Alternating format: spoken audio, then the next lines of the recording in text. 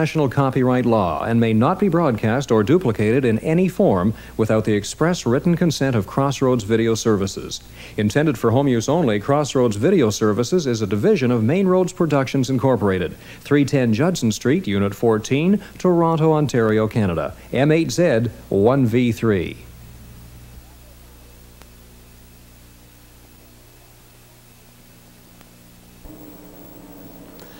Did you know that Louis Pasteur was famous for something other than pasteurizing milk? Do you think that life could have developed on Earth by chance? Where did the first cell come from?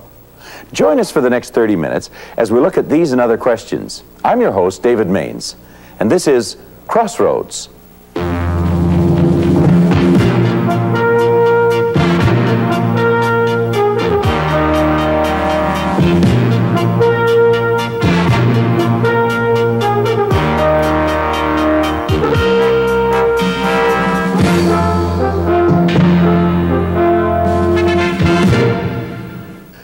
Did life begin on planet Earth? Many people believe this age old question has been conclusively settled.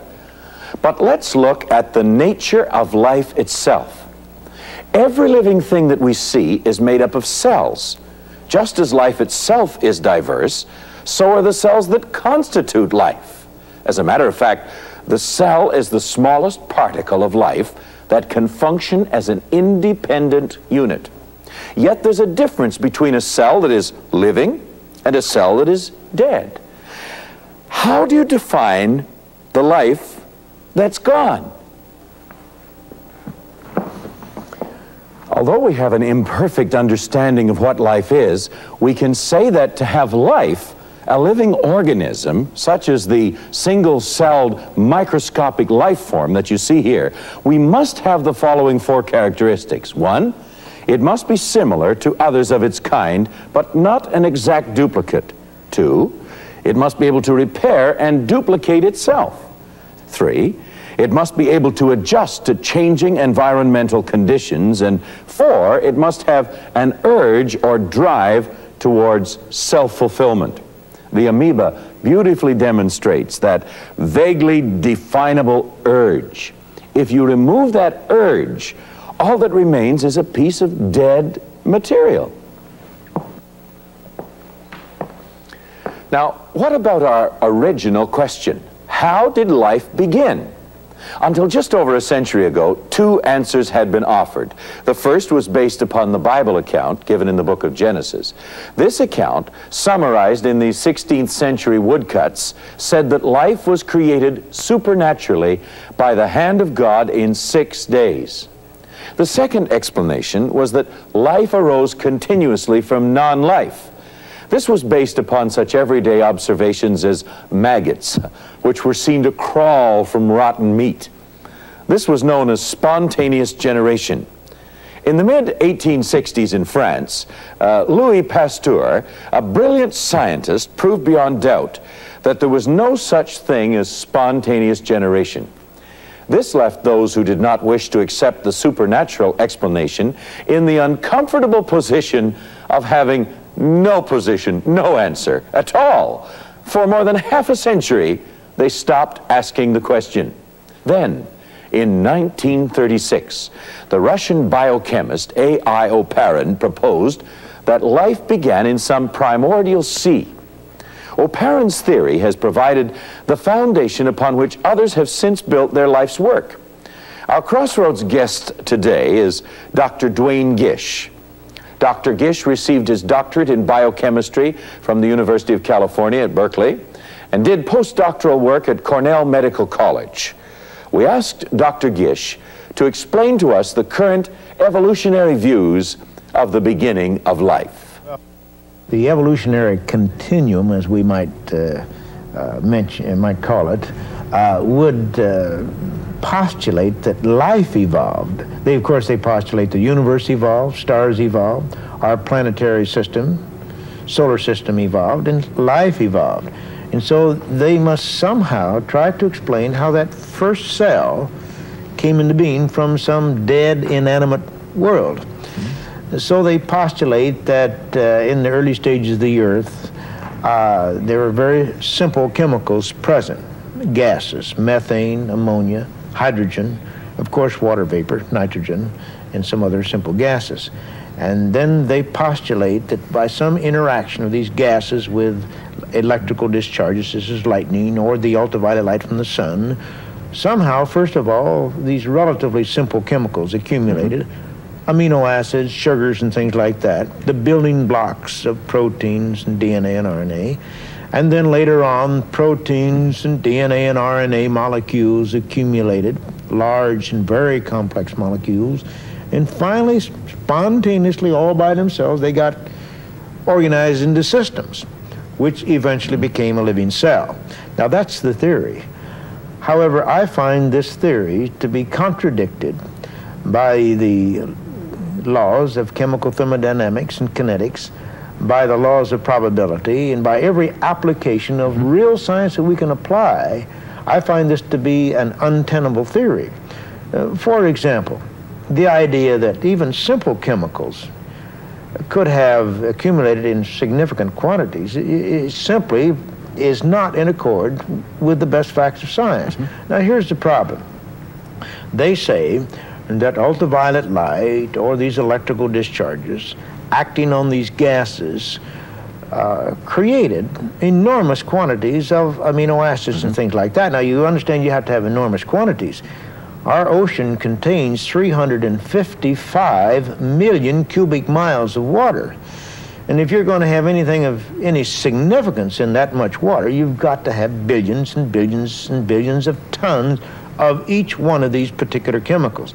So you have to have a, a very efficient method to synthesize or to form these chemicals. However, if you have something like ultraviolet light or electrical discharges acting on these simple gases, you will produce a few molecules of these more complex things like amino acids and things like that. However, that very same energy, either the electrical discharge or the ultraviolet light, is so much, much, much more efficient in destroying those same products that the when you compare the rate of synthesis, the rate of formation of these simple compounds, to their rate of destruction by the same energy source, you find that the rates of destruction exceed the rates of formation by anywhere from 10,000 to 100,000 times. Notice how the original atmosphere of the Earth, before life began, is assumed to consist of a mixture of methane, hydrogen gases, and ammonia. Now, ammonia is the essential ingredient of amino acids. Yet no one seems to have questioned how this is supposed to have originated. Dr. Gish continues. For example, in the uh, apparatus used by Stanley Miller in his famous experiment where he's generated amino acids and so forth, he had this apparatus with the gases circulating through the apparatus and being sparked by an electrical discharge. And he had a trap in the bottom of the apparatus where the products accumulated. And after a couple of weeks, he had a detectable quantity of product which he was able to uh, analyze and determine that there were a few amino acids there. So everybody said, well, he's demonstrated that life could have arisen spontaneously. The famous and oft quoted Miller experiment. Here is the Miller apparatus, and here is the trap, spoken of by Dr. Gish. The late Dr. Bronowski, who was one of the leaders in the modern movement of scientific humanism, describes the crucial Miller experiment in his book, The Ascent of Man. This book was written as a result of the well known BBC television series. In the chapter in which Dr. Bronowski asks how life began, he says, and I quote, that question was answered in a beautiful experiment by Stanley Miller in America around about 1950. He put the atmosphere in a flask, the methane, the ammonia, the water, and so on, and went on for day after day, and boiled and bubbled them up, put an electric charge through them to simulate lightning and other violent forces, and visibly the mixture darkened. Why? Because on testing it, it was found that amino acids had been formed. That is a crucial step forward, since amino acids are the building blocks of life. From them, the proteins are made, and proteins are the constituents of all living things. Notice how the trap, so vital to the experiment, was never even mentioned. Yet in this popular television series, and uh, a book written by a man of acknowledged intellectual standing, the reader is led to believe that the question has been answered to perfect satisfaction. Let us hear now what Dr. Gish, a man well qualified in biochemical research, has to say about the Miller experiment. The only thing that he produced were a few amino acids, and that's infinitely removed from a living cell, very, very far from a cell with all of its complex chemicals and structures. Furthermore, the only reason he even got a detectable quantity of amino acids is because he had that trap.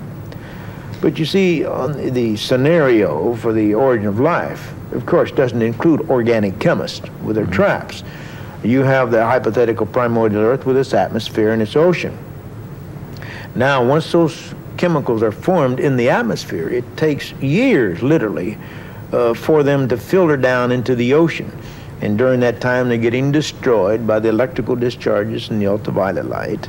And even after they found their way into the ocean, mm -hmm. the forces of destruction are so great there uh, that you'd have end up with no detectable quantity of product. The forces destroying them exceeds the forces forming them by enormous rate. Now, here's another interesting aspect. Dr. Miller placed a trap in his apparatus that saved his product so that he got a detectable quantity of product.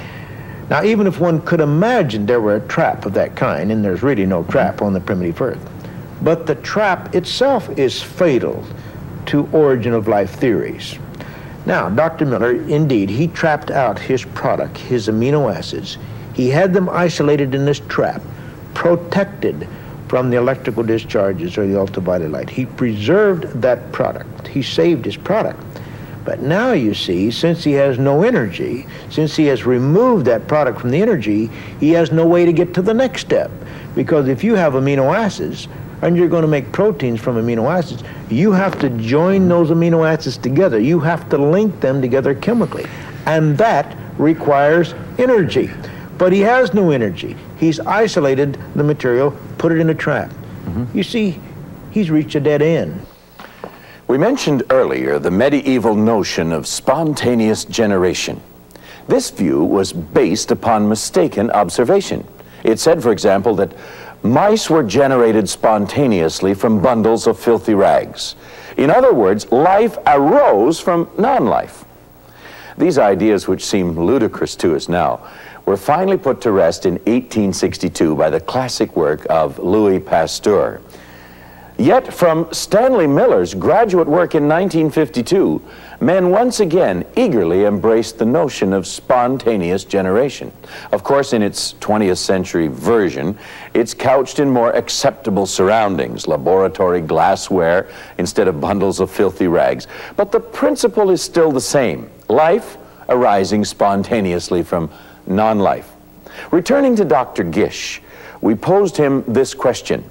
Just suppose that this assumed primordial sea had some atoms of the right kind which had been brought together without a chemist or a trap to form amino acids.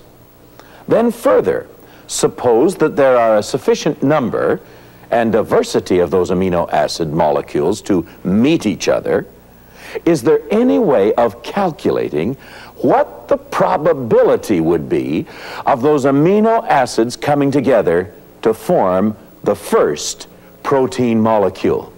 The probability that even one single protein molecule, even one single molecule of a protein with the amino acids ranged in the precise order required for the mm -hmm. biological activity, such as an enzyme or a hormone, the probability that those amino acids would come together in that order is would tell us it would never happen. Not in three billion years would you ever even get one single molecule. You see, in a let's let's assume this protein has 100 amino acids. Mm -hmm. Now that's not a very large protein. Most have 300, 400, 500 amino acids arranged in precise order. But let's, assume that it's only 100. Now, right now in proteins, you have 20 different kinds of amino acids. Of course, on this hypothetical primordial Earth, you'd have many more than just 20. You'd have several hundred. But we're going to make it easier for the evolutionists. Let's assume we only had the 20. Now you got these 20 amino acids in this ocean, all right? Now you've got to form this protein by chance. Just as if I had a box back here with amino acids in them. And I now I have to form this one molecule. I have to, I need a certain amino acid to mm-hmm. be number one. Maybe it's phenylalanine. So I reach back here in this box without looking, mm-hmm. and I pluck out amino acid. Well, it's not phenylalanine. It's something else. So I throw it away and I try again. Now, since there are 20 different kinds, I have one chance out of 20 of getting the first amino acid right. Well, finally, I, I do. That's not bad, one chance out of 20. But now I've only got one. Now I need to get the second one in the right order. Not just any amino acid, but there's a certain amino acid that must be number two. So I reach back in here blindly, as chance would do, and I pull out another amino acid. I have only one chance out of 20 of getting that right. Well, I have one chance out of 20 getting the first one right, one chance out of 20 getting the second right. That's 1 over 20 times 1 over 20. I've only ch- one chance out of 400 of getting two in the right order. But now remember, I have to do this 100 times. And 100 times successively, I must have the right amino acid. What's the probability, if you had to choose from 20, to get to make the right choice 100 times successively? Well, it's 20 to the 100th power, or mathematically, that's equal to 10 raised to the 130th power. 10 multiplied times itself 130 times. Now, that's the probability of getting one single protein molecule of 100 amino acids. Now, that number is so enormously large, the probability really is nil.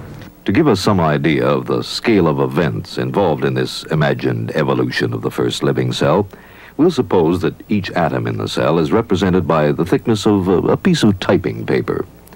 The number of atoms required to form a typical amino acid would be represented by a pile of papers less than a quarter of an inch high. The 400 or so amino acids in one protein molecule would be represented by a pile of papers about 10 inches high. While to form the first living cell, although microscopic in size, would require thousands of specifically arranged protein molecules and would bring our pile of paper well beyond the height of Toronto's CN Tower, the tallest freestanding structure in the world. So we can see how remote the chance is of forming one protein molecule from the amino acids. We then ask Dr. Gish to pursue the impossible and tell us what's required to form a living cell from protein molecules. even if this should happen by some miracle. Of course, you get one molecule and it's going to fall apart naturally in the next few seconds, anyhow. But to have a living cell, the most primitive living cell that we could conceive of as biochemists, what do we need? What would we imagine? We'd need to have a simple, very simple living cell. Hmm. Well, certainly it would include several hundred protein molecules. It would include at least several hundred DNA molecules and RNA molecules, which are very, very large and complex, even more complex than a protein molecule. You'd need all many other complex molecules. Now, that means we'd probably have to have maybe 1,500, 2,000, 3,000 different kinds of protein, RNA, and DNA molecules. But that still would not suffice for a living cell. You must have the membrane, got to hold that together. Membranes are very complex structures. You've got to have some energy factory of some kind. Most cells have mitochondria, which are very complex structures, microsomes, where the proteins are synthesized, the Golgi bodies, and everything else. Certainly got to have all that genetic material there. Then all of that has to be put together in just one particular way. Using accepted scientific methods of mathematical proof, Dr. Gish has shown us how impossible it is that the right combination of atoms would come together to form the first living cell. But this is only the beginning. Evolutionist theory now has to account for the great diversity of living things. We ask Dr. Gish to give us their explanation. We start with this little single cell. Now, according to the theory of evolution, that is the theory that is accepted by almost all evolutionists, this little cell, as it began to reproduce itself, it would make mistakes from time to time. We call them mutations. It just in reproducing itself, it might make a typographical error, so to speak.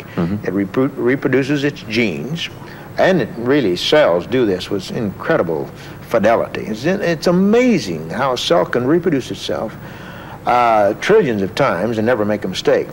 But sometimes they do. It puts in the wrong unit in a gene. Now, a gene is made up of thousands of units. It may put in just one wrong unit out of these thousands, but the results can be disastrous. Experiments done over almost half a century and involving hundreds of generations of fruit flies have always produced deformed flies, a result of harmful mutations. The theory of evolution proposes that once in a while a good mutation can occur, and therefore the next generation could be improved. This improvement would be passed on to future generations, and with further good mutations, a new species will evolve. Now, what conclusions can we draw from our search? First, it's impossible to expect amino acids to form protein molecules by random meeting. Secondly, it is impossible for protein molecules to form a living cell by chance happening. Further, it is impossible for these cells to diversify into all living things by chance mutations. In the face of all the statistics showing the impossibility of such complexity happening by chance, no matter how many billions of years are allotted, the faithful believers in the theory that life evolved still concede that it has happened by spontaneous generation. The only alternative explanation for life on earth is special creation, a supernatural act of God. The incredibly complex design of the living cell makes the most complicated machine man has devised look like child's play. Yet it all takes place in such small dimensions, detailed fitting of a molecule to molecule. Such design surely speaks of a designer. But returning to our original question, what is life? Uh, even if man could, by some miracle of technology, make a cell, could he infuse that cell with life? Simpler yet, could man begin with a cell that had recently died and infuse it with life? There is more to a cell or a human being than the mechanistic evolutionary theses would suggest. When we acknowledge that God is the designer and creator of each living thing, we also find that it is God who imparts to each cell life, that spirit or that urge to fulfill. The living cell, then, is the meeting point of two realms the physical and the spirit. The physical realm is familiar and it can be measured. But the spirit realm is something of another dimension and totally inaccessible to man's scientific inquiry. Psalm 104, verse 30, tells us that in all living things, it's God who sends forth his Spirit and creates them. We're also reminded in uh, Ecclesiastes chapter 12, verse 7, that at the appointed time of death, the Spirit shall return to God who gave it. God is sovereignly in charge of the life of every living thing. And in some way, which is really beyond our understanding, He is that life. For it says in Colossians chapter 1, verse 17, He is before all things, and by Him all things hold together.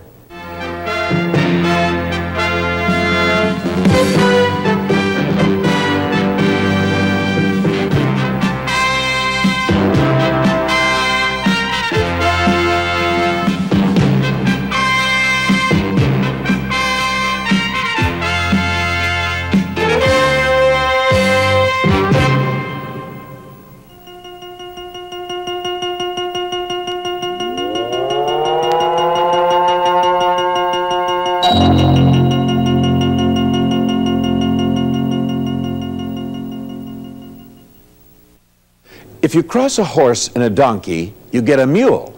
Have you ever wondered why mules cannot reproduce?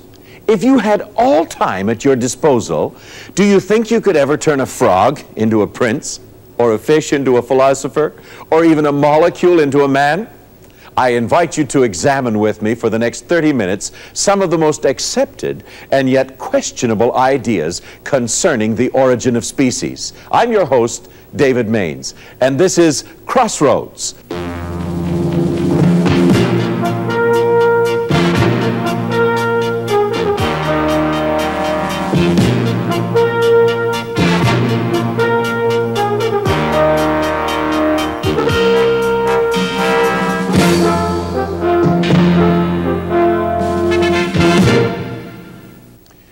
You ever stopped to consider the great variety there is in the human race? We come in a multitude of shapes, sizes, and colors, each uniquely different. There is perhaps even a greater variety in the animal and plant kingdom. For example, one only has to think of all the different types of dogs seen in a dog show from the little Chihuahua to the great big St. Bernard, and every shape and size in between all belong to the same species we call dog. They are known as a species because they're all potentially capable of interbreeding. For instance, dogs do not interbreed with cats, so therefore cats are a separate species. In some very rare instances, two similar species, such as a horse and a donkey, can interbreed, but their offspring, the mule, is always sterile. So this cannot be the beginning of a new species. Animal breeders recognize the wide variation there can be in a species and patiently select and breed to produce certain desired characteristics. But the offspring are always of the same species. Following his five year voyage, Charles Darwin was very impressed by the great variety in every form of life. Darwin was also familiar with animal and plant breeding techniques, and it occurred to him that if man could artificially select certain animals for breeding and produce desired characteristics, then perhaps nature had been working in a similar way, but over an infinitely longer period of time. Darwin called this natural selection. And he suggested that this came about during the struggle for survival, where within each uh, niche of the environment, only those best fitted would tend to survive. By extending this observation further, Darwin theorized that it was this process of natural selection that, when continued over millions of years, was responsible for all life forms seen on Earth today. He said it all began with very simple cells, which in time became fish. Certain of these fish crawled out onto dry land to become reptiles, some of which became birds, and others eventually evolved into apes and finally man. This picture is familiar to most of us and is known as the theory of evolution. But did the fish really grow legs and become a reptile? Did the frog really become a prince? When Darwin published his theory in 1859, there were a few who had rejected the supernatural account of man's beginnings, and therefore they eagerly adopted the new theory rather than have no other explanation to offer. One such man was Thomas Henry Huxley.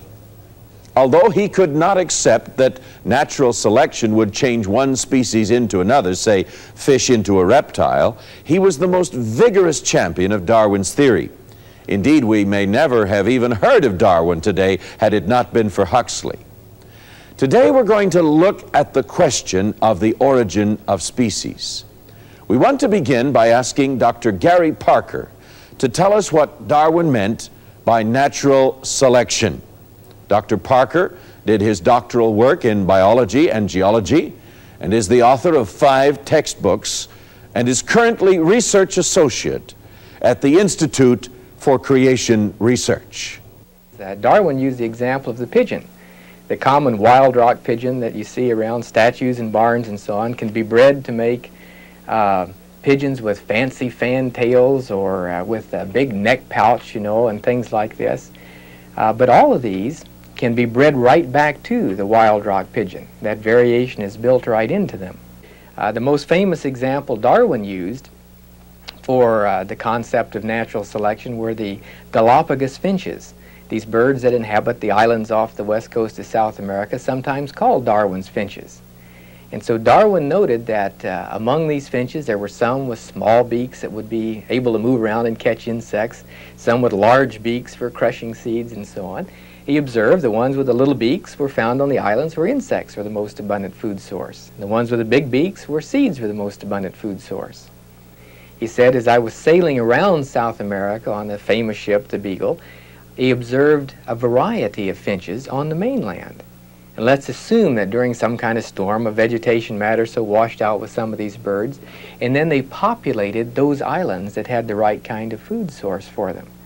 And so really, that was the problem.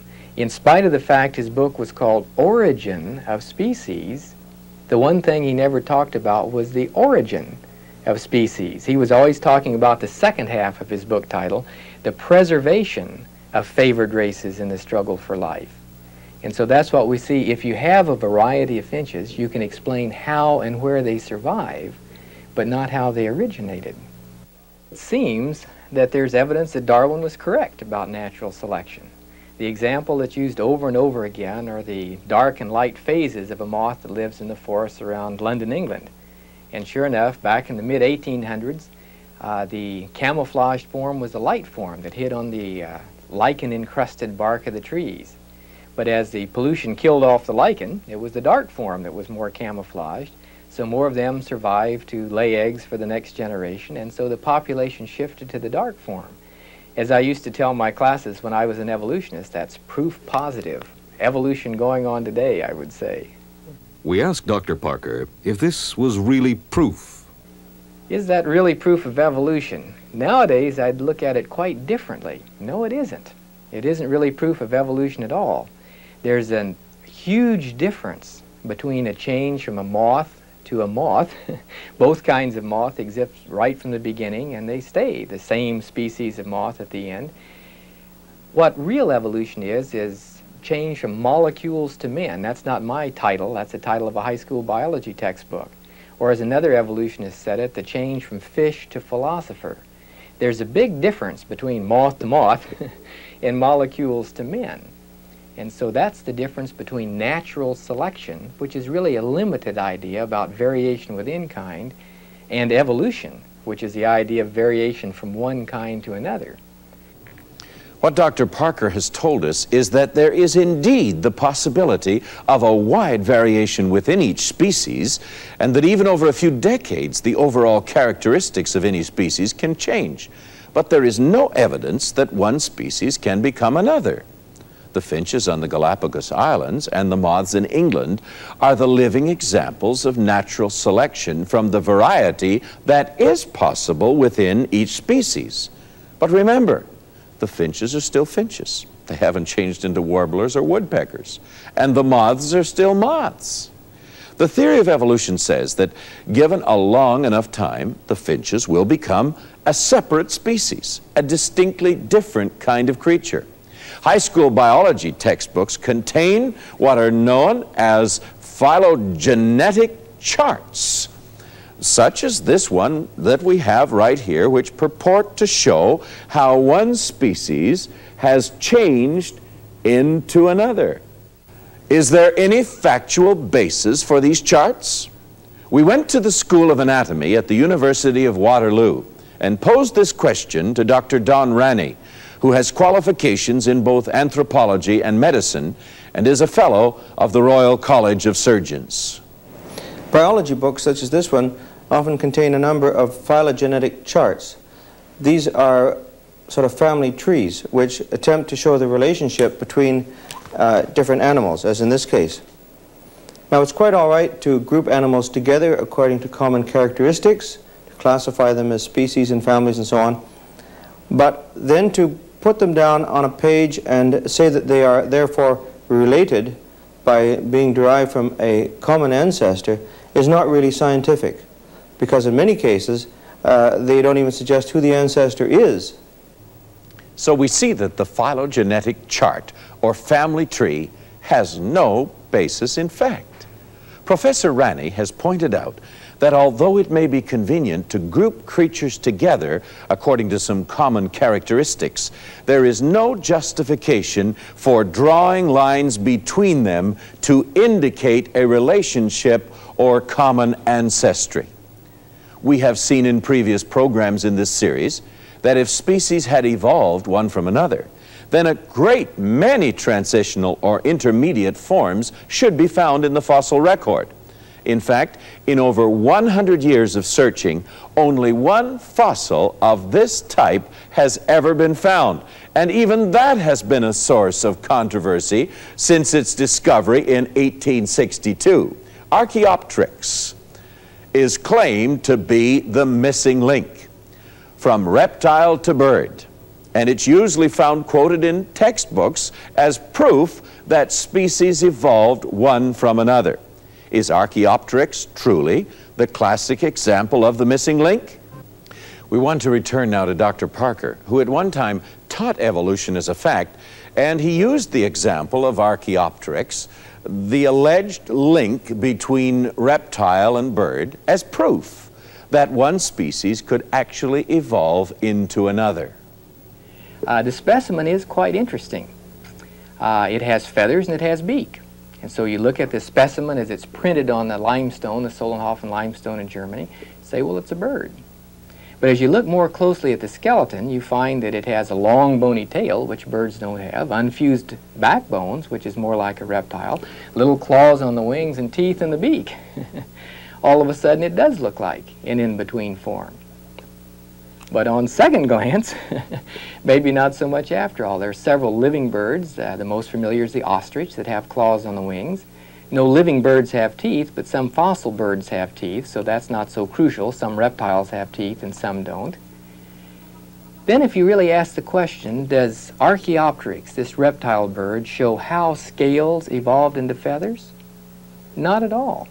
The first time we find feathers as fossils, we find completely developed feathers. Ostrom says with barbs and barbules of several different kinds, of primary flight feathers and this, that, and the other. In fact, in the literature recently, been a number of articles suggesting that Archaeopteryx was probably a strong flyer. It has the asymmetric wing that we find, or vein through the feather that we find only in strong flyers. And so many evolutionists are now regarding Archaeopteryx as the first bird. There's no indication of where the wings came from a running leg. The first time we find wings in the fossil record, we find completely developed wings. For the time being, the last uh, piece in this puzzle was put into place by Jensen out in Utah. He discovered bones of just regular birds in the same system as Archaeopteryx. So Archaeopteryx can't be the ancestor of birds since birds were already there. In spite of the fact that school textbooks say more and more missing links have been found, the truth is that Archaeopteryx is the only example ever given. At one time, the evolution of the horse was held as classic proof of the theory, but this is now largely discredited, even though displays of horse skeletons may still be found in our museums. We hope to bring you the facts regarding the horse skeletons in a future program. But now, we want to turn your attention to another topic. The Encyclopedia Britannica is held by many to be the epitome of trustworthiness and the ultimate compendium of all knowledge. This is a volume from the 15th edition published in 1974. Under the heading of biogenetic law, we find this description. The biogenetic law, also known as the recapitulation theory, and postulated by Ernst Haeckel in 1866, states that ontogeny recapitulates phylogeny. That is, the development of the animal embryo and young traces the evolutionary development of the species. Uh, quoting again from this same edition, we find this. Thus, the presence of gill clefts in the mammalian embryo can be understood as a remnant of a common ancestor. In layman's language, this means that during the development of the embryo or fetus in the womb of every mammal, including man, there has been at one stage gill slits, as in fish. This is implied as proof of evolution. We invite you to look up biogenetic law or recapitulation theory in any encyclopedia or textbook. Some of the older editions will even add that the human embryo recapitulates the frog stage with a three chamber heart and the primate stage with a tail. But what are the facts? We asked Professor Ranney to explain. Here is a biology book called Biological Science by William Keeton. This is a 1972 uh, second edition of this work, and it is used in a number of universities eh, where, uh, in courses where general biology is taught. He refers to this work of Haeckel and shows the very same picture of embryos that was produced in the 19th century, where we see similarities and you can easily see differences too in the development of the various embryos, uh, fish, salamander, tortoise, chick, rabbit, and man. It has often been stated that the human embryo has gill slits. Now it's true that certain parts of the neck and face develop from structures known as branchial arches. And these have a resemblance in the embryo to the structures which in the fish develop into gills. But the human embryo never develops true gills. It does not have all the other things that are necessary to function as gills. And uh, in any case, uh, the gills are for breathing in the water, and the, the uh, human embryo gets all its oxygen requirements uh, from its mother's circulation. There's, there's really no connection at all. It's just another example of how the same structures can be used to form different things in different species if the plan for that development is different. In this text, Medical Embryology by Jan Langman, and the statement in fact is made, and I quote, the pharyngeal arches and clefts are frequently referred to as branchial arches and branchial clefts in analogy with the lower vertebrates. Since the human embryo never has gills, called branchia, the term pharyngeal arches and clefts has been adopted for this book. Now here is a modern writer merely affirming from embryological studies that there is really no essential similarity between the human embryo and the fish embryo. Now, if we wanted to use that, uh, that argument that is used by those who believe in evolution, though, we would run into some difficulties. Because if we look further at the human, we see that uh, both his hands and his feet have webs before they become separated. Now, does that mean that we are related to ducks?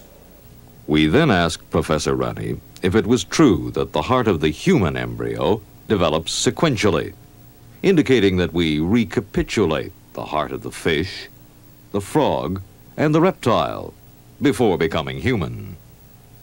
The theory of evolution teaches that in our development, uh, we go through stages which recapitulate the development of the uh, of uh, mankind uh, through uh, fish forms, uh, reptile-like um, ancestors, and so on. And so one of the key points is that the, in the embryological development, there's first of all a one-stage, a one, or rather a one-chamber heart, then a two-chamber heart, a three-chamber heart, and a four-chamber heart. And if you look in the embryology books, that's exactly the way it's described. However, I came across this just the other day. Uh, this is a book by um, Arey, Developmental Anatomy, a highly respected textbook in embryology, in which he cuts right down to the truth. He says the development of the heart includes eight different stages, and although most of these processes go on simultaneously, it is more convenient to describe them separately. You might find it interesting to know something of the historical background of these ideas. Earlier in the program, we mentioned that Ernst Haeckel had originated the theory of recapitulation or biogenetic law as it came to be called. Professor Haeckel worked in Germany at Jena University and was a keen supporter of Darwin's theory of evolution. In 1866, he published this series of drawings of animal and human embryos, the pig, the cow, the rabbit, and the human being, as proof of the theory.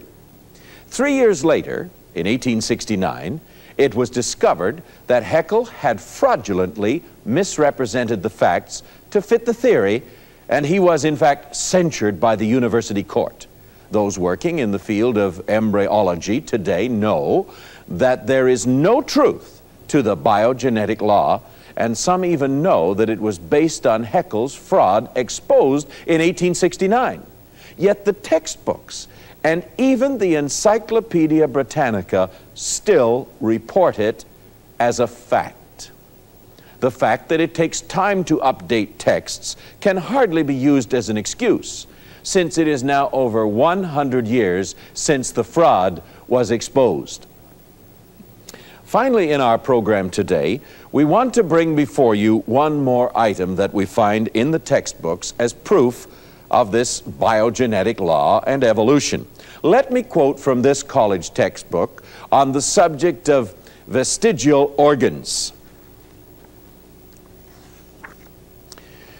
The fused vertebrae, which makes up the base of the human spine, are interpreted as the vestigial remnants of the tail possessed by our ancestors. Once again, we ask Professor Ranney to comment. At the very end, there is a little thing which looks very much like a tail. This is called the coccyx. Now, the coccyx is at the lower end of the vertebral column, and as you can see from this view, it projects inward and helps support the floor of the pelvis.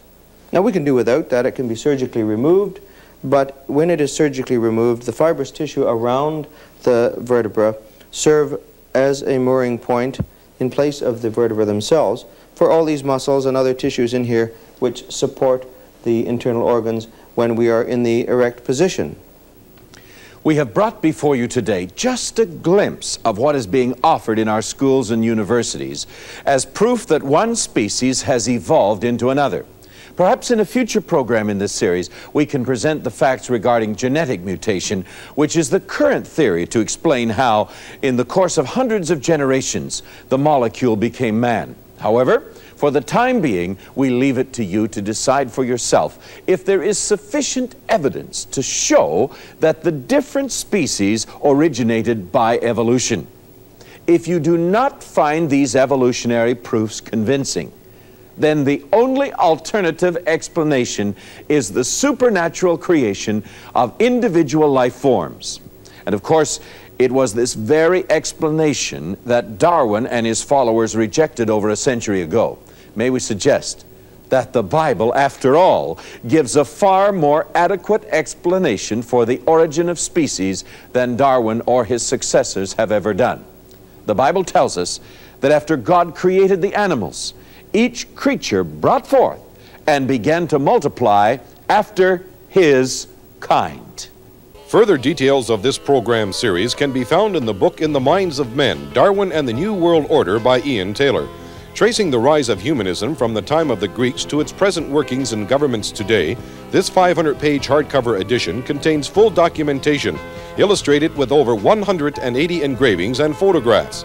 To order, please send in check or money order 2895 to Main Roads Productions, 100 Huntley Street, Toronto, Ontario, M4Y2L1.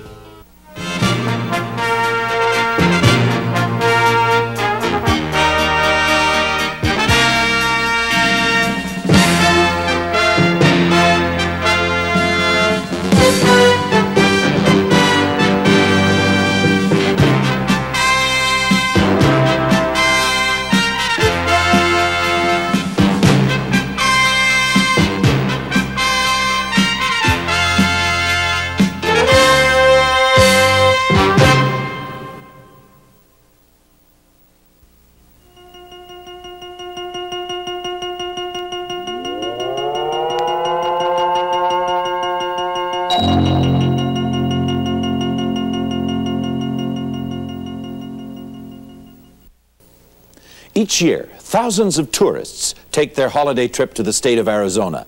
There they see one of the most spectacular works of nature, the Grand Canyon. For the geologist, the Grand Canyon is said to be an open textbook. But do we know what caused the canyon? Has its complete story ever been told? For the next 30 minutes, come with us to the canyon. I'm your host, David Mainse, and this is Crossroads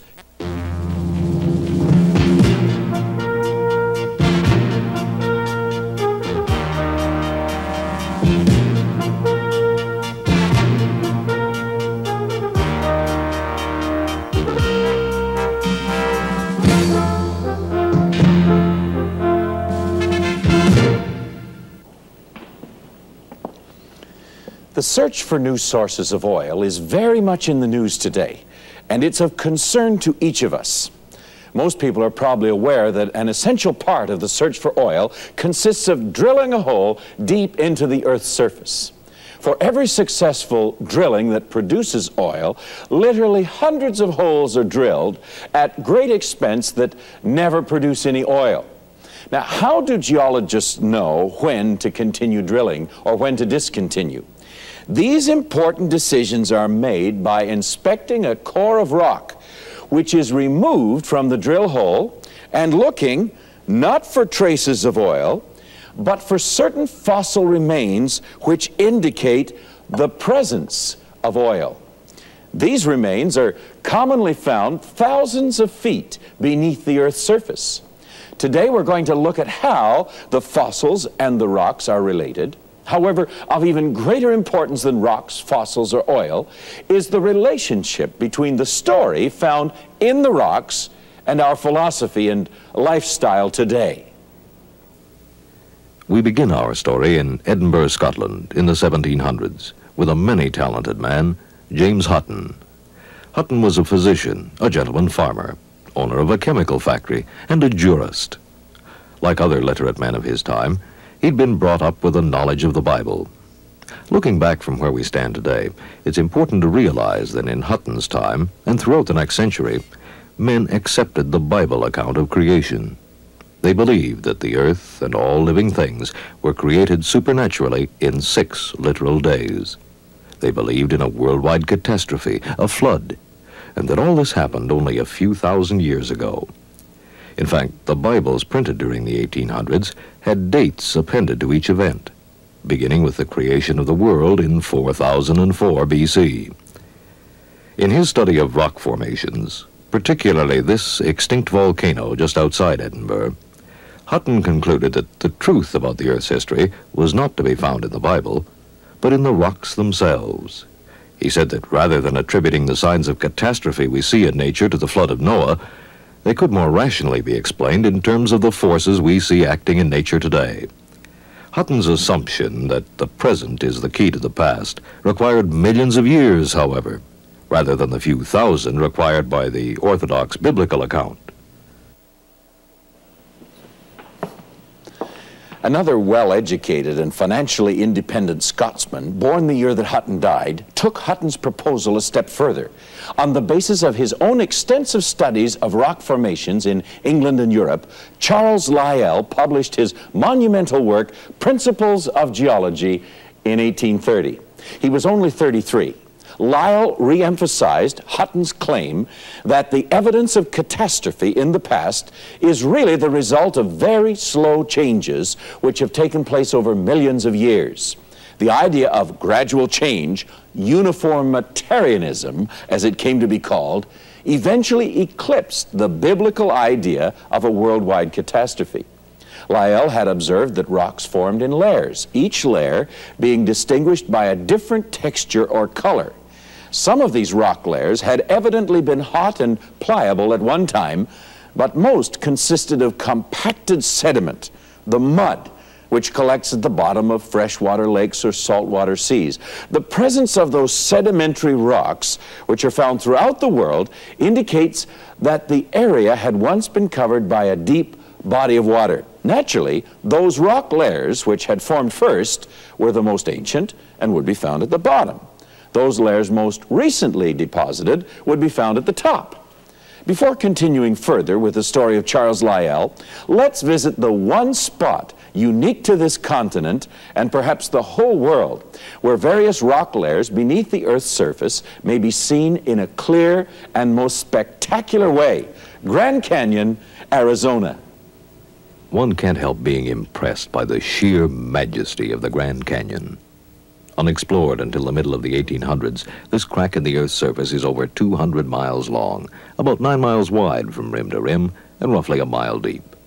At the very bottom of the canyon flows the Colorado River, which eventually finds its way to the Gulf of California. At intervals along the 200-mile length of the Grand Canyon are 19 smaller canyons, generally at right angles to the flow of the river. Flying over the canyon from south rim to north, one can plainly see the Colorado, a lacy ribbon, appearing a mere trickle at the bottom of some giant gully. Of special interest are the various layers or strata of rock, so evident in the canyon walls. Charles Lyell, as we've already heard, said the most ancient rocks were in the lowest levels, while the most recently formed were at the top. Here we see the black rock strata at the level of the river, in the deepest part of the canyon, almost a mile below the Earth's surface. This rock is the most ancient and shows signs of having been at one time hot and pliable. Notice how the original horizontal layers have been twisted and contorted until some are nearly vertical. Huge and violent forces must have caused these upheavals long before the upper layers were deposited. Before leaving this area, we should note how the fast-flowing Colorado River is full of red mud debris. Thousands of tons of rock debris are carried each day by the Colorado and deposited in the Bay of California. Charles Lyell pointed out that the rocks contained fossils. That is, the bony remains, uh, such as this fossil fish here, and impressions of once living creatures. He further said that the physical evidence of life within the different rock strata provides the key to identifying the relative position of one strata to another. He based this reasoning on his assumption that life began on Earth in a very simple form and over great spans of time more complex forms of life developed. Therefore, fossils would be deposited in ascending order, with the most elementary in the lower strata and the most complex in the uppermost strata. To the geologist, a fossil then becomes an index to identify the period in the Earth's history during which any particular strata formed. This principle of Lyell's recognizes that nowhere on the Earth can you find a complete catalog of strata or a geologic column showing every type of fossil? The fossils in themselves cannot tell us the age of any strata either. To Lyell's principles of geology, Charles Darwin added his idea of natural selection, or as it is sometimes said, selection by survival of the fittest. This assumption attempted to explain how one type of living creature, say the fish, evolved into a more complex type, such as the reptile, and eventually evolved into man himself. Although at first Lyell did not believe in the evolution of living things, his principles of geology provided the basis for acceptance of Darwin's theory of evolution. Eventually, however, Lyell did accept the theory of evolution, although he admitted that it cost him severe struggle to renounce his old beliefs. Charles Lyell, a quiet man, with rather poor eyesight, had therefore not only provided the principles upon which modern geology is founded, but had provided the very foundation for Charles Darwin's theory of evolution. Both men hold a great place of honor in British history and are buried in Westminster Abbey. We've examined in other programs in this series how Darwin's theory of evolution has, since its introduction in 1859, formed the basis of our entire philosophy in this 20th century. It has fundamentally influenced every discipline, not only in the biological sciences, but in medicine, literature, education, uh, even politics. And the theory of evolution and today's philosophy rests entirely upon the three assumptions proposed by Hutton, Lyell, and Darwin. If these assumptions are valid, they should be capable of withstanding the utmost scrutiny. If they pass all the tests, we can then be reasonably assured that the theory of evolution lies firmly rooted in the truth. Consider the first assumption by James Hutton that the present is the key to the past.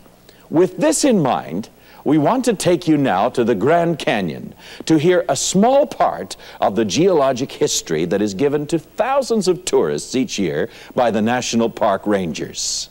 Uh, what I'd like to do is tell you a little bit about the geologic history because scientists speculate that the Earth, or actually scientists have determined that the Earth is 4.5 billion years old. The oldest rocks in Grand Canyon are 2.2 billion years old. So therefore, right here in Grand Canyon, we have a geologic textbook that traces the geologic history of this region for half of the age of the Earth. The park ranger went on to tell us that there were mountain ranges here, which had eroded. This most ancient period was followed by inundation of seas, which left the great limestone deposits. The inundations occurred not once, but a succession of times, and between each, there were periods when the seas dried up and erosion began again. Finally, he went on to tell us how the canyon was cut by the Colorado River. The real key ingredient, the one that geologists have studied for many years, is actually what caused the downcutting of the Grand Canyon. About 30 million years ago, geologists estimate that there was a slight uplifting of the, the surrounding terrain, the Colorado Plateau, that is 130,000 square miles in size, in the Four Corners region of Arizona, New Mexico, Colorado, and Utah. And as part of this very gentle uplifting, a ridge called the Kaibab Plateau was uplifted. If we accept this figure of 30 million years as the time when the river began to flow, by a simple calculation, we can see if the present is really the key to the past, as Hutton said. Measurements made of the quantity of mud that the river carries have determined that the rate of erosion of this entire Colorado River basin is about six inches every 1,000 years. This basin, which is upstream from the canyon, is the source of the red mud. If it is true that this rate of erosion has continued for 30 million years, then the basin area should have eroded 15,000 feet below the present ground level. But in fact, the present basin area has eroded only a few feet, and this is why the river flows down into the canyon several thousand feet below. Obviously, something is very wrong and it cannot be the present rate of erosion since that has been carefully measured. It begins to look as if Hutton's assumption is in doubt. Just to illustrate the lengths to which man's imagination can go, let's hear the ranger once again, this time explaining to visitors how the canyon was cut or widened. It, we haven't cut the Grand Canyon, and we haven't discussed how that exactly happened. Well, there were no great earthquakes in this region. The glaciers that came from the north didn't extend this far south. However, the processes of weathering were still very great even in, in this dry environment. Rain, freezing and thawing of ice in the wintertime, the wind, which is almost omnipresent here on the rim. The small little animals that do live in the desert area, they burrow into the rock units, and as they burrow, they'll kick out little bits and pieces of the rock. And we remind viewers that the Grand Canyon is 200 miles long, 9 miles wide, and a mile deep. And we're asked to believe that it was dug by mice. Without further comment, we shall now pass on to the second assumption developed by Charles Lyell. Lyell says that the fossils in the rock strata are found in an ascending order, and that they are found in that order because over enormous periods of time, life developed in that order. The ascending order, with its associated geological names and ages, is known as the geologic column. Here we see it in simplified form primitive sea life at the bottom, and vertebrates, including man, at the top. The complete column is theoretical, but parts of it are found all over the world. The fossils do actually occur in the order shown, and the geologic column forms a very practical working tool by which geologists make a living every day, including those geologists who are searching for oil. Now, if it is true that fossils are found in that order because they developed in that order, then we would expect to find a complete series of fossil forms from the bottom to the top, showing the gradual transition from one species to the next. Over the millions of years, we're told that it has taken for evolution, the rocks should be packed with creatures having, say, half fins and half legs as fish evolved into reptiles. Uh, we inquired about these transition fossils from Dr. Gary Parker, who has qualifications in both geology and in biology. Well, the modern evolutionists admit the problem. Darwin said there's something wrong. Either my theory is wrong or the fossil facts are wrong. Well, he thought it was the facts that were wrong, that as we studied and dug in the earth and looked for new fossils, we would find those missing links to validate evolution. It just hasn't proved to be the case. Even the evolutionists admit that. I might just share with you something from the Field Museum of Natural History Bulletin. David Raup is curator of that museum that contains 20% of all known fossil species. His article is entitled Conflicts Between Darwin and Paleontology, Conflicts Between Darwin and the Fossil Evidence. And he says, we're now about 120 years after Darwin. Knowledge of the fossil record has been greatly expanded. We can't blame it on an imperfect record. He says, but the situation for evolution hasn't changed much. By this I mean some of the classic cases of Darwinian change, he says, such as the evolution of the horse in North America, have had to be discarded or modified as a result of more detailed information. He says, ironically, we have even fewer examples of evolutionary transition now than in Darwin's time. Darwin said the evidence is bad, it's all against my theory. The modern evolution says it's worse than Darwin thought. the missing links simply aren't there. The geologic column is a fact, even though very often fossils are found out of place. But the many transitional fossil forms expected, the missing links, have not been found. Rather, each life form appears suddenly and in perfection, a fact for which the theory of evolution has never been able to provide an explanation. Another problem with the fossil order, as it is found, is that it does not conform to the theory. Certain fossils expected may be entirely absent, and this is called an unconformity. We want to show you a massive unconformity found in the Grand Canyon. Here, our Crossroads team member has his hand on the intersection of two rock strata in the canyon wall. According to orthodox geology, both the Silurian and the Ordovician periods are absent, and some good explanation has to be found, rather than to conclude that 100 million years of the Earth's history are missing. With these conclusions before us, we have to deduce that Lyell's assumption is false life forms did not appear in the Earth's history in the order that they are found. Let us be quite clear what is involved here. Lyell's assumption was taken by Darwin to produce an argument based on circular reasoning. They argued that ascending fossil order is caused by evolution, and then said that evolution is proved by ascending fossil order. Now, let us briefly look at the final assumption upon which the theory of evolution rests. The assumption made by Charles Darwin that natural selection or survival of the fittest was the mechanism responsible for the evolution of one species into another. To be fair to Darwin, we mention here that the science of genetics was unknown to him. At the turn of this century, after his death, the idea of survival of the fittest was actually abandoned in favor of genetic mutation.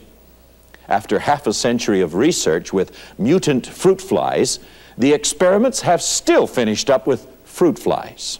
Not one has ever changed into another species of fly. Let us return to Dr. Parker once again. Well, even though evolutionists recognize the problem of the fossil evidence, they recognize the problem of mutations, they haven't given up on the theory. In fact, uh, Stephen Gould at Harvard University, professor of biology and geology there, uh, has advocated a new theory of evolution. Here I'm referring to Natural History magazine, June, uh, July 1977. His article has a stunning title, Return of Hopeful Monsters return of hopeful monsters. Now that's the evolutionist term. And Gould is saying, as a Harvard professor, as a, a man familiar with paleontology, there aren't uh, missing links in the fossil evidence. He says most species throughout their geological history uh, don't change at all, or else they fluctuate mildly in morphology, just variation within kind. And so he says the reason is this the first bird, in a sense, hatched out of a reptile egg, much to the surprise and dismay of its parents. and so this is the so-called hopeful monster mechanism first advocated by Goldschmidt back in the 20s. It seems fairly obvious that there must be something basically wrong with Darwin's assumption that one species has evolved into another. Otherwise, science would not still be desperately searching for a mechanism to explain it. In this program, we have just touched on a few of the areas where the three assumptions upon which the theory of evolution rests are totally unsupported by the facts. We would like to conclude on a positive note and suggest that it was a matter of ecology rather than evolution, which gave rise to the ascending fossil order used so effectively as the geologic column by today's geologists. Our theory is based on only one assumption, that the Bible is factual. In the beginning, God created the heavens and the earth, and all living things in perfection, sea creatures in the sea, reptiles in the swamps, and other creatures, including man, on higher ground in the forests and savannas. Because of man's wickedness, God sent a flood.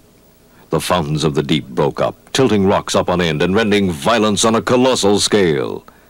The floodwaters rose, bringing with them mud and rapid burial. The small sea creatures were buried first, then the fish, then the slow-moving reptiles. And finally, as animals and man ran for high ground, they were trapped and buried as we find them today.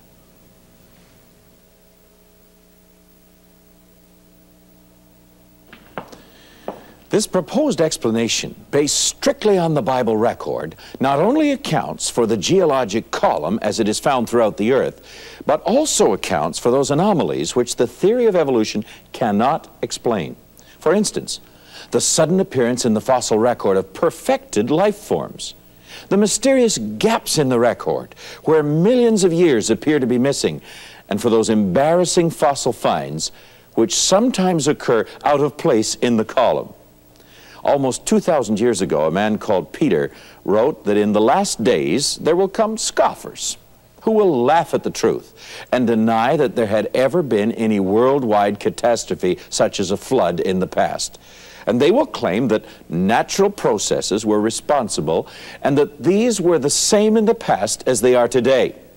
Isn't that exactly what Hutton, Lyell, and Darwin have said? We invite you to question these assumptions for yourself because they form the very basis for our lifestyle today. The program you have been watching is also available in audio cassette. This six tape series includes a brief reference guide which summarizes each of the programs and mentions the guests interviewed. This convenient set is available now at your local Christian bookstore or by writing Main Roads Productions, 310 Judson Street, Unit 14, Toronto, Canada, M8Z 1V3.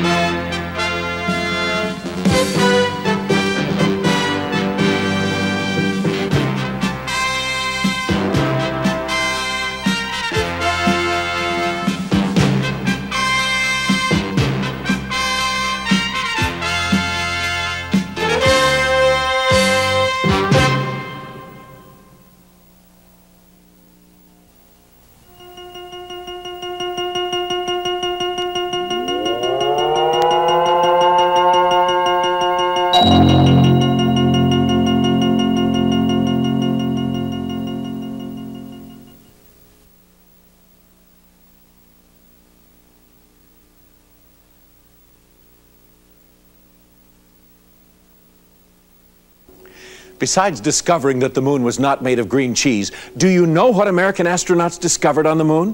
What about Mars? Do you think there's life there? Do you think there's any life beyond our Earth? Join us for the next 30 minutes as we explore the fascinating subject of life in outer space. I'm your host, David Mainse, and this is Crossroads.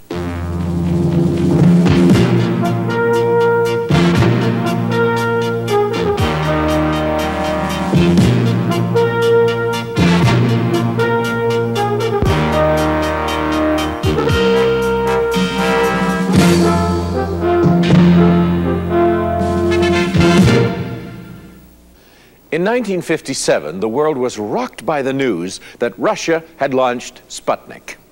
From that moment, the United States began an all-out effort to catch up with this new space technology. In 1961, Russia was again ahead with the first man in space. Upon his return, astronaut Yuri Gagarin made the statement that he had not seen God out there in space. And as a representative of his government, this would naturally be his declaration of their official position of faith before the world. In our program today, we want to show you how faith in a belief system has also influenced the American space exploration program, and particularly the search for extraterrestrial life.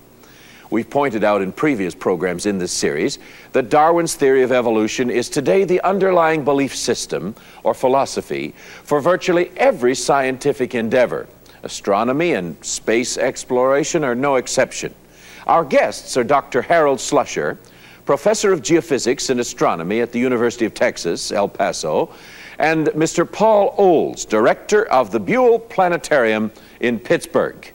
Dr. Slusher begins by outlining for us the evolutionary philosophy as it relates to the current thinking on the origin of the universe. Uh, the evolutionist view could be summarized very well oh, by the words of the late Harlow Shapley, who was professor of astronomy at Harvard University. Shapley made this statement some years ago. He said, Some people very piously record in the beginning God, but I say in the beginning hydrogen. He said, If we have enough hydrogen, and we have the basic physical laws, such as the law of gravity, the conservation laws dealing with energy and momentum, uh, the various chemical laws. He said we can explain this universe in all its details. And he said we can be done once and for all with uh, myths and fables about a god or gods who might have created this system. Now, in his position, you see, uh, you have summarized really the evolutionist position. He's saying that the universe is a self-contained system, that uh, you can explain the universe in terms of itself, that there is no need to look outside the universe for anything, that all you need to do is make observations about it, study the laws, and you can deduce its origin. He's saying it's self-contained. He's saying that it started out in a chaotic condition and goes from chaos to cosmos. Uh, he's saying that there is a continual development upward. He's saying further that chance processes give rise to everything that you see that, in other words, as the physicist would put it, the irrational gives rise to the rational, or that an accident produced matter and energy, an accident produced the stars and the galaxies, I should say perhaps a series of accidents. Um, a series of accidents produced this planetary system that travels about the sun. An accident produced the earth, produced life on the earth, and that man himself is a production of a series of accidents. This reasoning is based on the assumption that the universe, our solar system, planet Earth, and life itself has evolved. It's the same reasoning which underlines the search for extraterrestrial life, as Paul Oles explains. If you uh, assume an evolutionary origin for life, that life is, in essence, an electrochemical accident, uh, that through random uh, chemical processes, given the proper organic compounds and the proper electrical environment, that you do have the generation of life from inanimate material, then life should be very common in the universe because we know that the sun is simply a normal star, an average star. We know that there are at least 200 billion stars in our own Milky Way galaxy, and the most recent Palomar Sky Survey indicated that there are at least 10 billion known galaxies with similar numbers of stars. And a substantial percentage of the stars that we see in the sky are sun-like. And therefore, one would assume that they do have planetary systems traveling around them and that life would have evolved on those planets, that life is very common in the universe, and that a primary goal would be contact with other life forms that may be in a more advanced stage of evolution. The idea that man should have a contact with beings from a more advanced stage of evolved civilization has been a dream of writers and philosophers for more than a 100 years now. Names such as uh, Jules Verne in France and H.G. Wells in England immediately come to mind. It's significant that as the problems in our present world become increasingly more unmanageable, man's desire becomes all the more urgent to meet with some intelligence superior to his own, and hopefully friendly, who would put to right the world's problems. After all, the world's leaders often confess that they're at a loss to know what to do. this unspoken wish for contact with a superintelligence expresses itself in the popularity of science fiction books and movies such as Star Wars. Just what are the chances of there being intelligent life forms in outer space? We asked Mr. Oles if there is really any proof of there even being other planets like our own beyond the solar system. If we would take a survey of the stars that are relatively near the sun, say within about uh, uh, a thousand light years of the sun, and we would do a survey of those stars, we can, by uh, observing their motions through space, although it is not optically possible to actually observe a planet. As an example, Jupiter the largest planet in our solar system. If we would travel to the very nearest star, the Alpha Centauri system, look back upon our sun, we could not observe Jupiter from the Alpha Centauri system using the very largest telescope that we have today. Uh, so it would be optically impossible to observe planets circling other stars. And it's been proposed that it will probably not be possible even when the Large Space Telescope is put in orbit. Uh, so optical detection is an impossibility even for the nearest stars. Mr. Oles went on to explain the astrometric techniques whereby the motions of stars are observed photographically over long periods of time.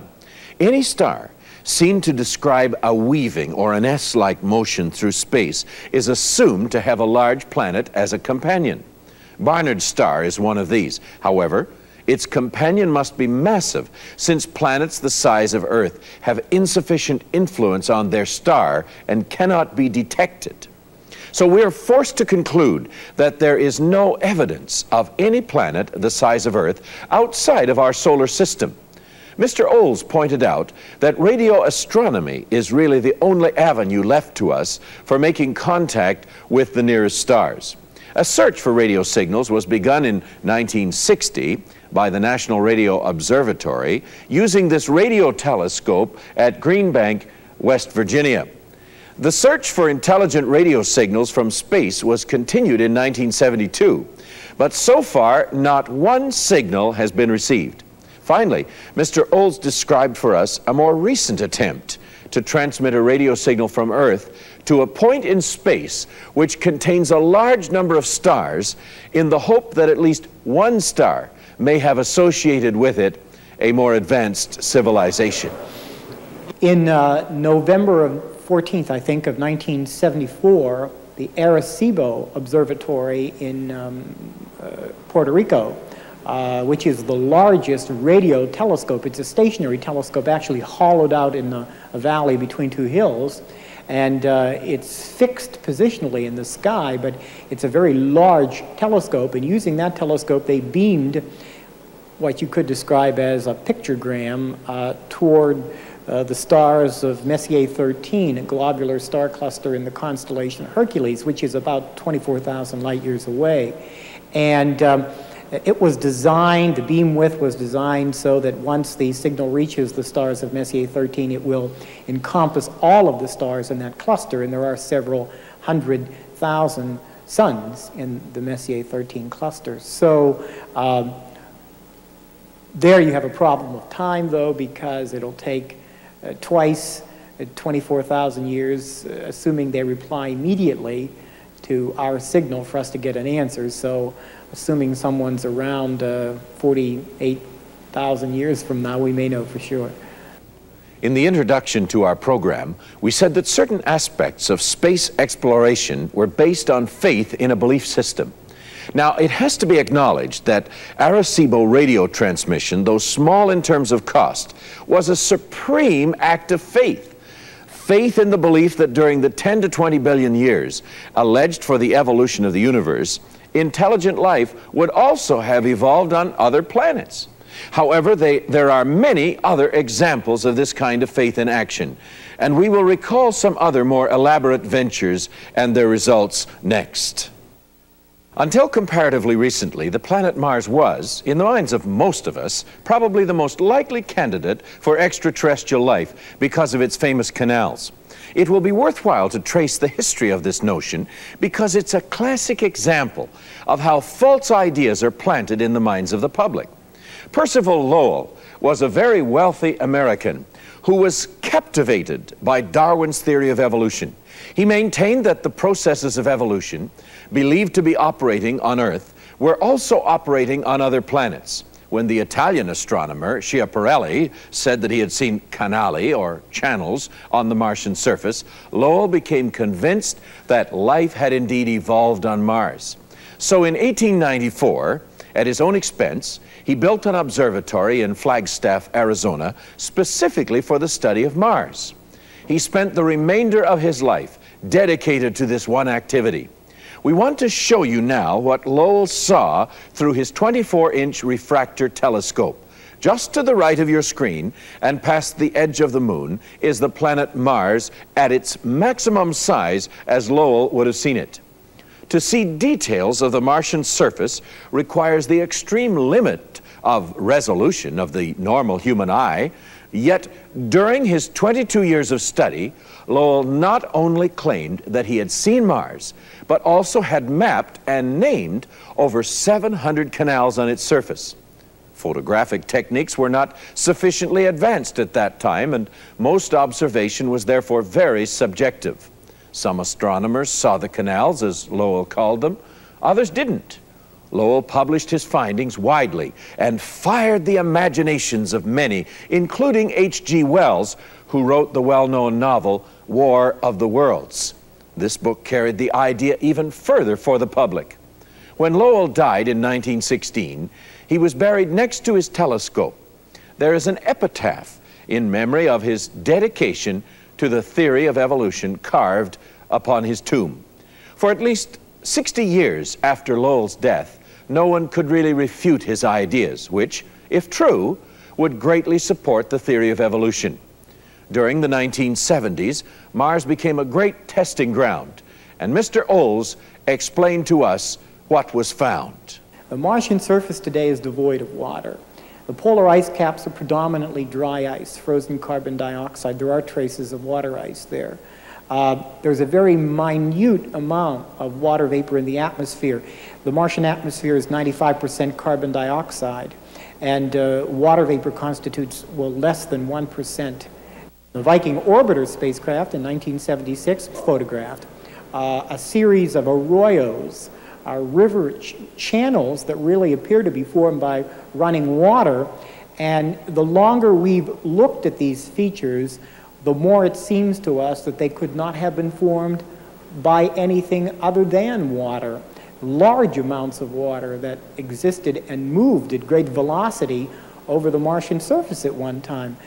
As you can see, these arroyos, or dry gullies, are not in the least way related to Lowell's canals. Mr. Oles continued to tell us of the life experiments conducted on Mars. We didn't know for sure until Viking landed on Mars, two Viking spacecraft in 1976, uh, July and September of 76. And uh, one landed just to the north of the equator, the other one landed in the mid-northern latitudes. Uh, in the Chryse Planitia, uh, a plane in the equatorial regions, and the other one landed in an area called Utopia. And uh, they conducted a series, in addition to photographing the Martian surface, they conducted a series of life experiments, three in fact, three different types of experiments on the Martian soil, expecting actually to find at least simple forms of life, because it was determined that the conditions on Mars were similar to the conditions in Antarctica, the most hostile region of Earth, and life can be found there. Mars, according to the evolutionary theory, orbits the sun within the ecosphere. Temperatures are suitable for water to exist in the liquid state some of the time. Uh, there's certainly enough solar insulation to support life. Uh, so it was expected that life would be found, perhaps even lichen, uh, simple plant forms of life. But Viking found that there was no life. Uh, Mars was sterile. Uh, we did not even find the simplest form of microorganisms, nor did we find uh, the organic materials out of which life is formed. Percival Lowell had spent almost a quarter of a century not only acting out in faith what he believed, but also seeing those things that he wanted to see. The Lowell Observatory at Flagstaff is still functional, and some fine work has been carried out there. But since the spacecraft explorations have finally toppled the whole intelligent life on Mars belief, this seems to have left Lowell's public image and, by association, the observatory itself under a sort of odium which our Crossroads television team became aware of when they were refused permission to film on the observatory property. We turn now to another example of faith in action and consider the exploration of the moon. In the late 1950s, Dr. Pedersen of the Swedish Oceanographic Institute had determined the quantity of uh, meteoritic dust which falls on the Earth's surface each year. The well-known science writer Isaac Asimov uh, pointed out that a similar density of meteoritic dust must also fall on the moon. However, since there is no wind or rain on the moon to wash it away, it would have accumulated. Asimov claimed that in 5 billion years, the dust layer would be 54 feet deep. In anticipation of this, the Apollo 11 lander, which took the first men to the moon, was equipped with large pad-like feet to prevent it from sinking into the dust. Mr. Oles will recall for us just how much was found on the moon's surface prior to the Apollo landings, the, there had been a number of scientists that had predicted that there should be a very thick layer of dust on the moon, uh, produced first by the erosion caused by the solar wind, which is a very minimal form of erosion. Nevertheless, it would pulverize a surface layer, produce a surface layer of dust. And secondly, there should have been a deposition of meteoric dust on the moon uh, assuming that the solar system came into origin five billion years ago, four and a half to five billion years ago. Uh, contemporary theory states that all of the objects in the solar system had a common origin four and a half to five billion years ago. Then, given that time scale, there should have been a significant layer of dust on the surface of the moon in the area of 54 feet. Uh, but surprisingly, uh, there was a very minimal layer of dust, a few millimeters thick, less than half an inch of dust on the surface of the moon. And I think that was very evident in the footprints that the Apollo astronauts left. Almost 600 million people watched on television as astronaut Armstrong took man's first step onto the moon's surface. When asked about the amount of moon dust there was, Armstrong replied, It's only scuff deep.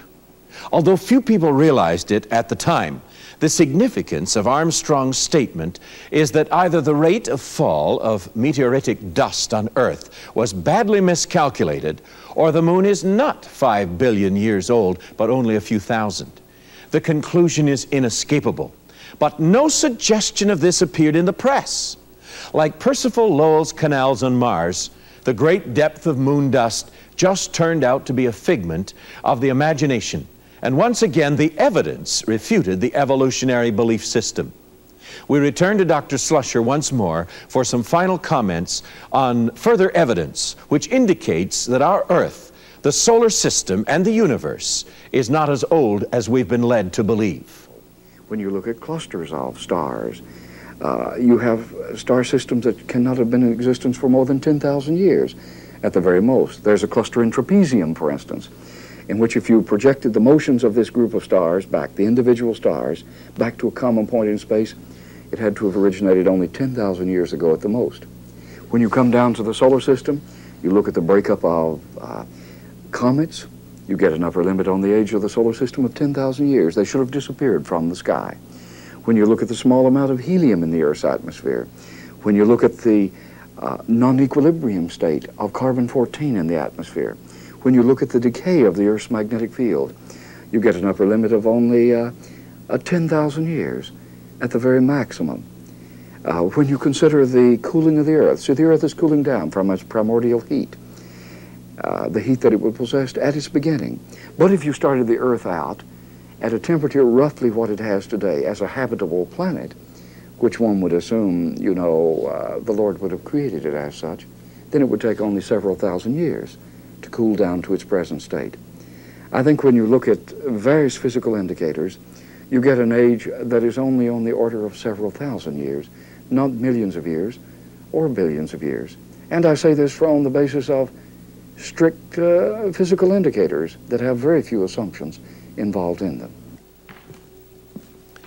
There are other examples in the space program of faith in the evolutionary belief system. One such example is the $8 million Lunar Receiving Laboratory, built specifically to test the moon rock samples for signs of life. They were found to be absolutely sterile. The search for extraterrestrial life began with high hopes. One wonders if those hopes did not have attached to them an unspoken wish to find some life, any life, which would provide an explanation for life on Earth. After all, many scientists are coming to realize that there is no such thing as a simple living cell and that these highly ordered units cannot come together by chance. It is at this point that the need to find an extraterrestrial life source becomes mandatory. Over the years, the popular press have brought before us in beautiful pictures and in technical detail the space experiments, hopes, and expectations. However, when the results are negative, this does not make exciting news, and we tend to hear little about it. Often the official conclusion is, we are continuing to evaluate results. When we consider all those negative results, we are left with an age for our solar system and Earth of thousands of years rather than billions. The significance of this shorter age is that if this is true, then life cannot have appeared by the evolutionary process. And to state this conclusion publicly is in the truest sense of the word heresy, because it calls into question the evolutionary belief system. We want to leave you with a message of hope. May we suggest that the alternative belief system given in the Bible better fits the facts. In this book, which has served man for several thousand years now, the Creator God tells us that in six days He created heaven and earth and every living thing. You have been watching Unit 2 of the Crossroads Creation Series entitled Scientific Evidences. The next program in this series is Unit 3 Social Darwinism. This 100 minute video cassette explores the topics of nature or nurture, Darwin's legacy, Darwin without excuse, and humanism and evolution. They're available now at your local Christian bookstore or by writing to Main Roads Productions, 310 Judson Street, Unit 14, Toronto, Canada, M8Z 1V3.